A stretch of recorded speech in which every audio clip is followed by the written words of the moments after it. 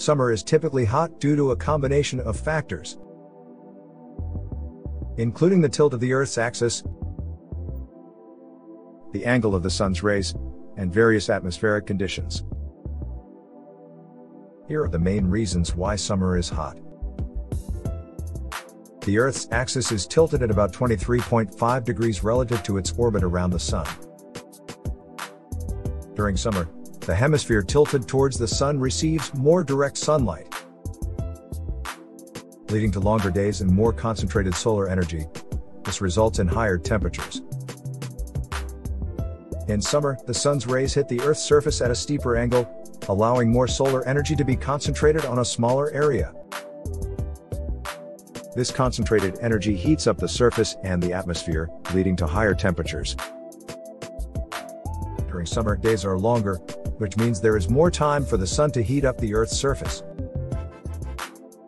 Longer exposure to sunlight allows for more energy to be absorbed, raising temperatures. The atmosphere plays a role in determining temperatures. During summer, the atmosphere tends to absorb and retain more of the sun's energy, resulting in warmer temperatures at the surface.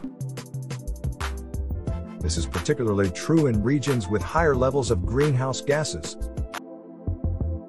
such as carbon dioxide and water vapor, which trap heat and contribute to the greenhouse effect. Bodies of water, such as oceans and lakes, have a higher heat capacity compared to land. During summer, these bodies of water store heat from the sun, and as the air moves over them, it gets warm.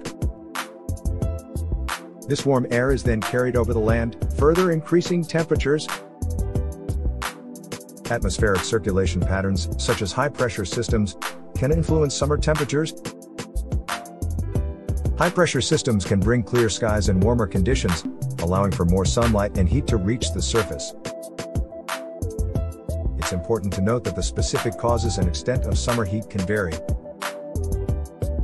Depending on factors such as geographical location, local climate, and the presence of other weather phenomena, such as monsoons or oceanic currents.